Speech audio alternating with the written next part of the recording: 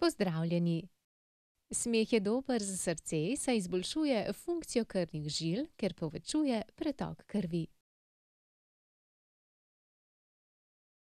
V manj kot letu dni lahko zmanjša tveganje za srčni napad, zato zdravniška stroka ljudi spodbuja h gledanju komedij in humorističnih nanizank. Danes smo za vas pripravili šale o zdravju, opozorilu in bogastvu.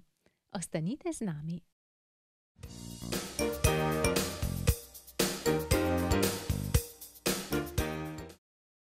Pacient je naročen za pregled.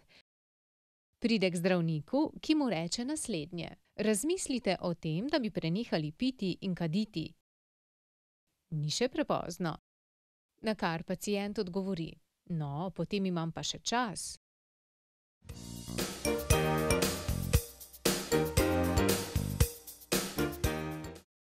Voznik je zavpil na neprevidnega pešca, ki je med prečkanjem ceste gledal v nebo.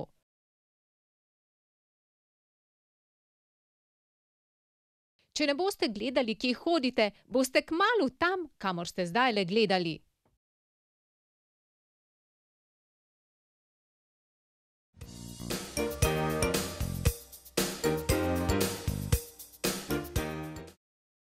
Ded leži na smrtni postelji in se pogovarja z vnukom. Star sem in vsak hip lahko umrem, zato bi rad, da podeduješ mojo kmetijo, na kateri je vila, traktor, nekaj glav živine in triindvajset milijonov evrov.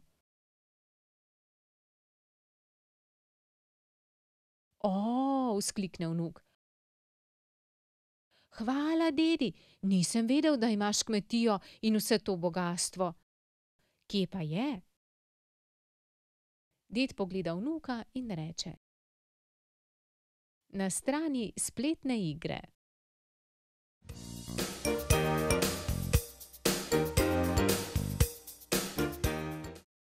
Smehom boste lahko veliko naredili za svoje zdravje. Se vidimo v naslednji oddaji.